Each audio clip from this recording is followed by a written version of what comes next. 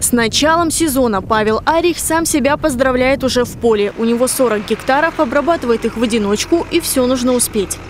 Выходных практически нету. Выходной только тогда у нас, когда дождь, снег, непогода, когда нельзя работать в поле.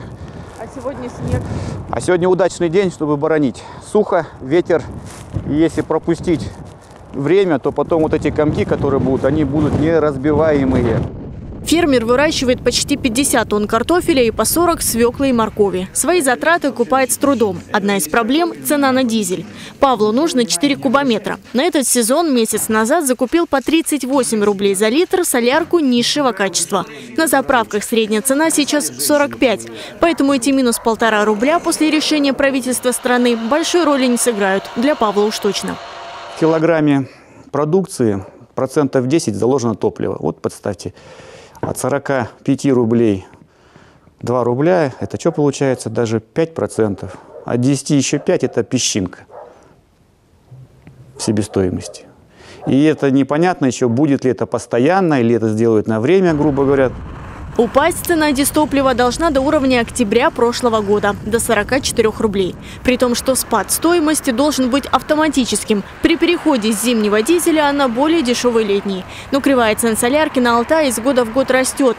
В Российском топливном союзе уверены, новые условия ощутят точно не фермеры.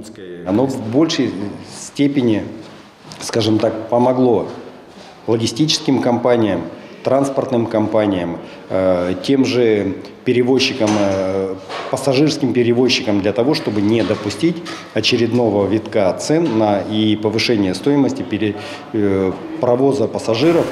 В Барнауле речи о повышении проезда сейчас действительно не идет. Но, по словам перевозчиков, вовсе не из-за снижения цены на солярку.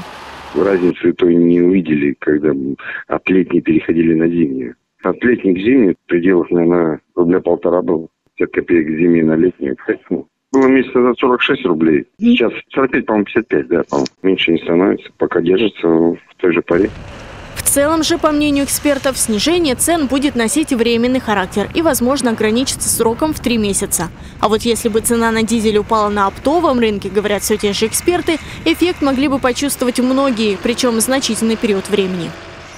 Анастасия Дороган, Николай Шелком. Наши новости.